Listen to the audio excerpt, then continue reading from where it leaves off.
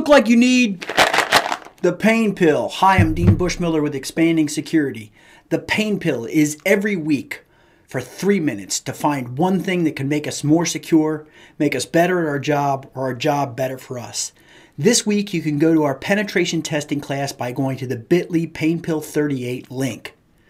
Hey, a commercial for you. We're ready for the 2012 exam. We've been ready for a long time. They're upgrading to metrics and all sorts of other good stuff in the CISSP, the MP, and the AP. We're ready. Come to class. Also, we help write the version 7 certified ethical hacker exam. So come to our classes because we might be able to help you get to your exam goals. Okay, the subject this week is pen testers. Jail, it happens. Oh? Yeah. Well, Here's the thing your job is to attack networks for hire. That's illegal some places. Eventually, somebody's going to call the police, and the police gonna, are going to view you as a tester as a real threat, a credible threat to somebody. That tester is going to be arrested. Your job's just changed from one of attacking networks to getting out of jail and definitely staying out of prison. Remember, jail is where you go when you're waiting for the judge, and prison is where you go when you're convicted. So let's talk about this from the company side. You really don't want to hire the wrong vendor or the wrong person or a criminal out there. You don't want to support criminal activity or defend criminal activity. And what I'm asking you to do as penetration testers is stay out of jail by talking to that company and getting permission up front.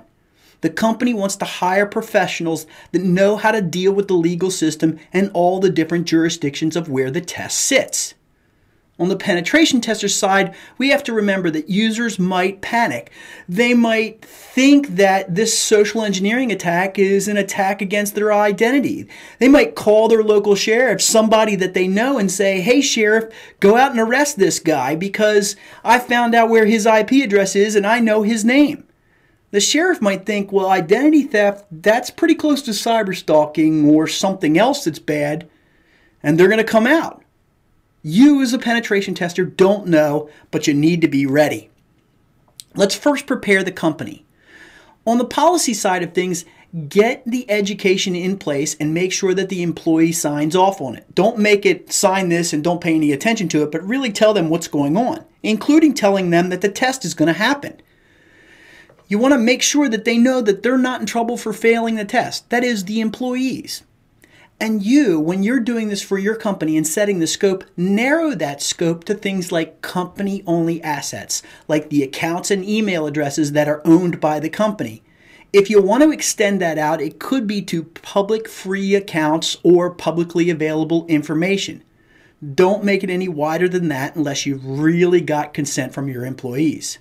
Now, let me be clear about this. I do not provide legal advice. I'm not an attorney. I don't want pl- don't play one on TV.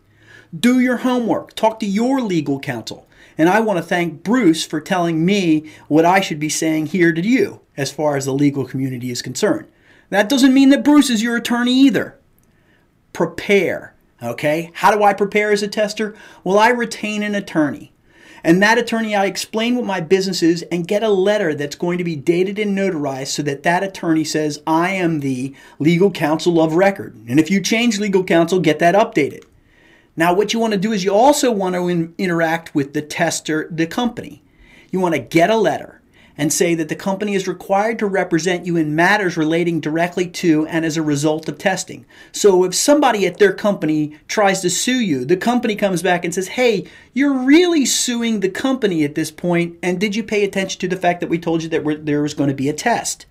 Now, the rest of this letter is going to be the scope, but remember, the permission is one thing, but also getting protected by that company is another in case there are third party issues.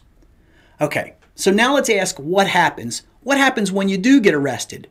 Well, probably your laptop's going to be seized. Your data is going to be used as evidence against you, and you might even be on TV. And this is not the good kind of TV, this is the bad kind of TV. It's called the perp walk.